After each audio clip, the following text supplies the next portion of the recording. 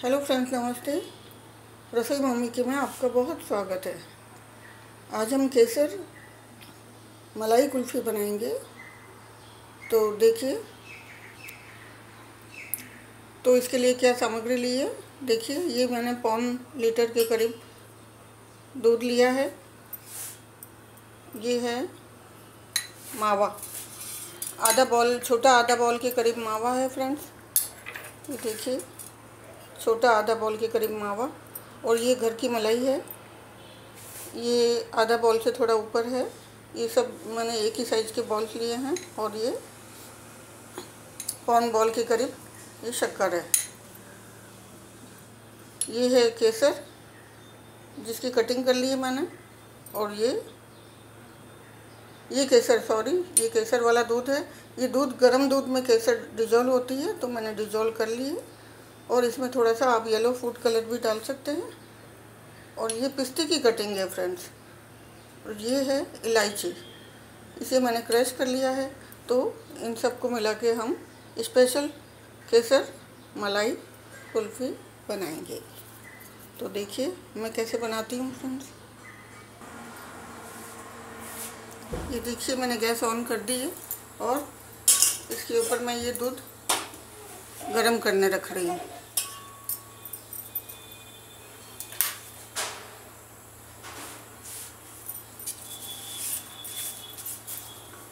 दूध हम इस तरह से हिलाते रहेंगे ताकि हमारे तली में नीचे लगे नहीं। तो ये थोड़ा दूध में उबाल आ जाएगा फिर हम इसमें दूसरे इंग्रेडिएंट डालेंगे। देखिए फ्रेंड्स अब हमारा ये दूध उबल रहा है आप देख सकते हैं और ये उबलते थो, उबलते थोड़ा सा कम भी हो गया है। इसे इस तरह से हम हिलाते रहेंगे कंटिन्यूस नहीं तो नीचे लग जाएगा। थोड़ा गैस अब धीरे कर देती हूँ। ये गैस धीरे कर दी मैंने।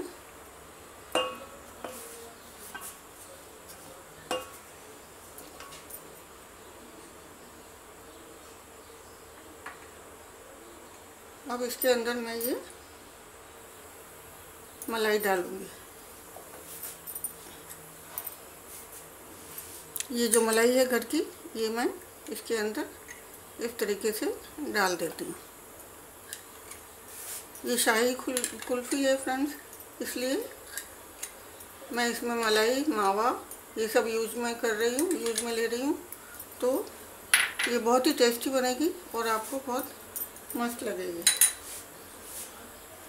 फिर गैस तेज कर दी मैंने और इसके अंदर मैं ये मावा भी डालूँगी। ये मावा भी डालूँगी।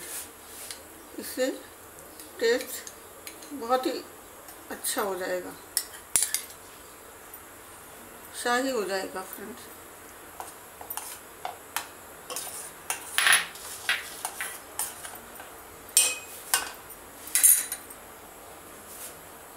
ये मावा भी डाल दिया। अभी गैस थोड़ी सी तेज कर दी थोड़ी मैंने। और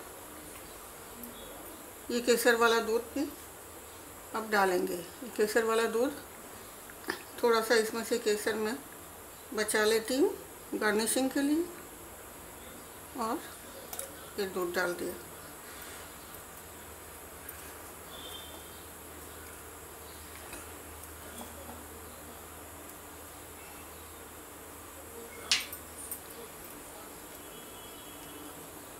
इसे हम कंटिन्यूस हिलाएँगे फ्रेंड्स ताकि ये सारे इसमें डिजोल्व हो जाए मलाई और मावा डिजोल्व हो जाए। और जब ये थोड़ा सा डिजोल्व हो जाएँगे, तब हम इसमें शक्कर डालेंगे। अभी मैं इसके अंदर ये पिस्ता डाल रही हूँ। थोड़ा सा मैं गार्निशिंग के लिए बचा लूँगी। और ये इलायची भी डाल रही हूँ।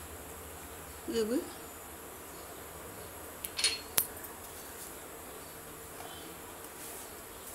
ये टेस्ट में बहुत अच्छी होती है ये कुल्फ़ी। इसमें मावे का टेस्ट आता है, मस्त एकदम। ये स्पेशल मैं बना रही हूँ आपके लिए, जो आपने बहुत कम देखी होगी फ्रेंड्स इसे आप कंटिन्यू हिलाइए, ताकि नीचे के तले में दूध लगे नहीं।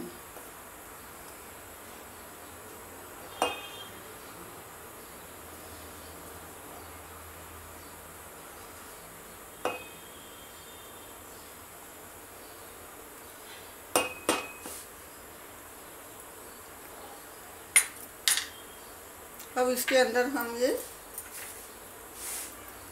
शक्कर डाल लेंगे। ये शक्कर आप अपने टेस्ट के अकॉर्डिंग अगर आपको कम पसंद है तो आप कम डालिए। क्योंकि मैंने इसमें मावा भी डाला है तो थोड़ा कम डालेंगे तो भी चलेगा। इसे इस तरह से कंटिन्यूस फिर हिलाएँगे।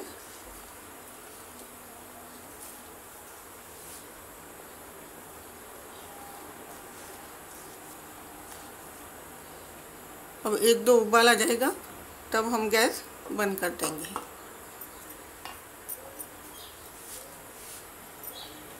देखिए फ्रेंड्स, उबाल अच्छी तरह आ गया है। अब हम गैस बंद कर देते हैं।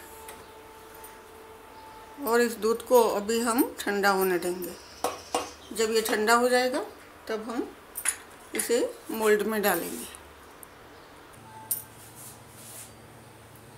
देखिए फ्रेंड्स ये केसर, मलाई कुल्फ़ी का मैंने ठंडा कर दिया है और इसे ठंडा करने के बाद में हम इस तरह से मोल्ड में इसको जमा देंगे। तो मैंने एक दिन पहले ही ये कुल्फ़ी बनाई थी तो मैं आपको जमी हुई कुल्फ़ी बता रही हूँ।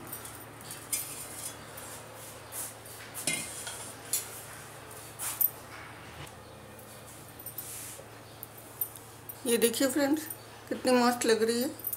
ये मैंने एक दिन पहले जमाई थी तो मैं आपको बता रही हूँ फ्रेंड्स। इसको अब हम डीमोल्ड कर कर लेंगे। इस तरीके से मैं कट कर लेती हूँ और मैं आपको बताती हूँ।